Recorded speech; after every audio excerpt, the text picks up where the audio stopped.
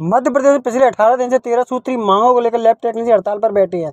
ऐसे में अस्पताल में सभी काम का बोझ बढ़ गया है। इधर अस्पताल में आने वाले मरीजों को जाँच कराने के लिए रिपोर्ट का इंतज़ार करना पड़ रहा है। लैब टेक्नीशियन का कहना है, जब तक हमारी मांगें पूरी नहीं होगी, तब तक हड़ताल खत्म नहीं करेंगे। दरअसल अठारह दिन से लगातार लैब टेक्नीशियन हड़ताल की वजह से काफ़ी काम प्रभावित हो रहा है। अस्पतालों की जांचों के काम प्रभावित होने की वजह से यहाँ मरीजों को भी परेशानी का सामना करना पड़ रहा है।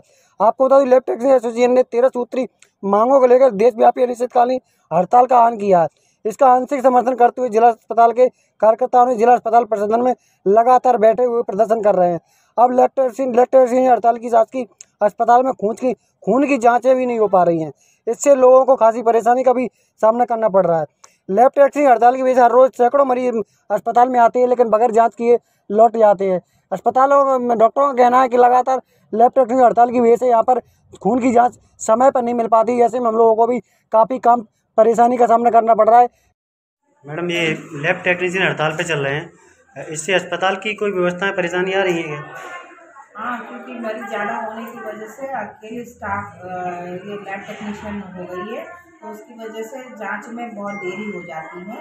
तो भीड़ की वजह से इसीलिए तो काफ़ी परेशानी आ रही है। जल्द से जल्द वापस आ जाए तो अच्छा रहेगा व्यवस्था सही रहेगा। अच्छा काम का भी बोझ बड़ा हो गया अस्पतालों में। हाँ क्योंकि मरीज़ ज़्यादा बढ़ गए बड़ा हॉस्पिटल हो गया है तो उसकी वजह से काफ़ी मरीज़ आने लगे हैं।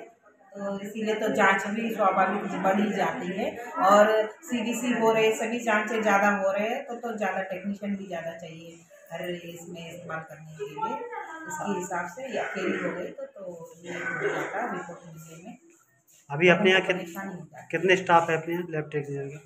तो तो उसमें तीन थे तो उसमें एक ही रह गई है दो इसमें है। अच्छा बाकी हड़ताल पे गए हैं? हड़ताल पे गए अच्छा, अच्छा। तो है। कितने मरीज़ आ रहे हैं जाँच के लिए? भी कुछ आ रहे हैं?